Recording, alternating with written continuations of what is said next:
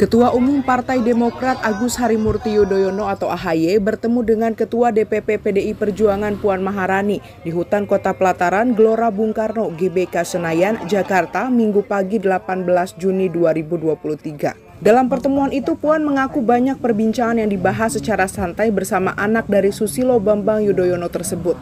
Syukur Alhamdulillah, tadi pertemuannya itu kurang lebih satu jam lebih ya.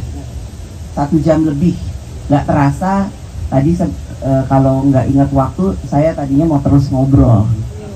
Ternyata banyak sekali yang bisa diomongin. Bisa seperti kakak adik.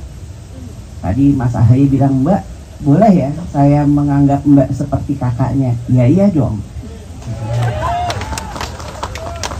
Kalau kemudian ngobrolnya itu antara ketua umum sama ketua DPR kayaknya nggak satu jam lebih tapi ya 20 menit ya udah selesai karena ngomongnya serius pastinya jadi tadi kita ngobrol-ngobrol di sekalian bersantap bubur buburnya enak sekali. Selain Puan dan AHY, sejumlah elit PDIP juga hadir seperti Sekjen Hasto Kristianto, Wasekjen Utut Adianto, Ketua DPP Bapilu Bambang Pacul, dan politisi PDIP Masinton Pasaribu juga masih ada beberapa politisi PDIP lainnya. Sementara itu dari Partai Demokrat tampak hadir Sekjen Teku Rifki Harsha, anggota Majelis Tinggi Demokrat Syarif Hasan, Wasekjen Demokrat Irwan Feko, dan Johnson Sitindaun, serta politisi Demokrat Didik Mukrianto Santoso dan politisi Partai Demokrat lainnya.